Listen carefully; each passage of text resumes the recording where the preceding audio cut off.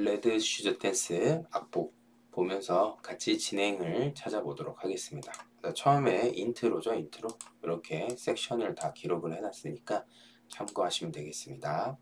그래서 노래 시작부터 보게 되면 이제 intro를 연주하시고 이렇게 화면에 보이는 두 줄이 네, intro입니다. 첫 번째 intro고요. 자, 이어서 두 번째 A 섹션이죠. A 파트라고 하는데 자, 여기에 도돌이표가 있습니다. 그래서 이렇게 여기까지 한번 연주하시고 다시 도돌이 가서 두 번째는 요 괄호 2번으로 넘어와 주시면 되겠죠.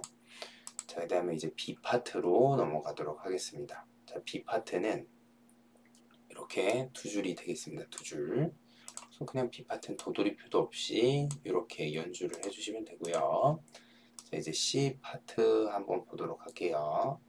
C 파트는 도돌이표가 있어서 앞서 A와 같이 연주하고 다시 연주했을 때는 괄호 2번으로 넘어와 주시면 되겠습니다. 자, 이어서 이제 인트로 2, 인트로 1하고 똑같습니다. 맨 앞에 쳤던 그래서 이렇게 두 줄을 연주하시고 다시 A 다시 A를 두 번째 치는 거라고 해서 A2라고 제가 해놨어요. 역시나 이 녀석도 도돌이하고 가로를 지켜주시면 되겠습니다. 자, 그 다음에 B 파트인데요. 또 B 파트 2. B 파트 2는 여기 특이점이 있죠. 요 솔로 하는 구간. 네, 요거 이제 잘 연주하신 다음에 이제 C 파트로 또 넘어갈게요. C 파트도 역시나 아까와 동일하게 도돌이표와 네, 가로가 있는데 여기는 뒤에 엔딩으로 연결이 되기 때문에 한 줄 더 내려서 악보를 편집했습니다. 그래서 이런 식으로 연주하시고 마지막에 엔딩까지 쭉 연주해 주시면 되는데요.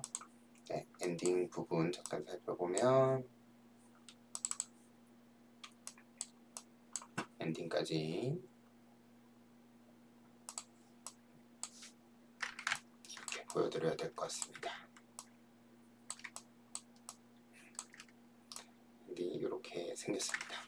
그래서 마지막에 엔딩 이렇게 연주를 해주시면 어, 레드 슈즈 댄스의 악보 진행을 파악해서 연주하실 수 있겠죠. 네, 악보 링크는 달아놓도록 하겠습니다.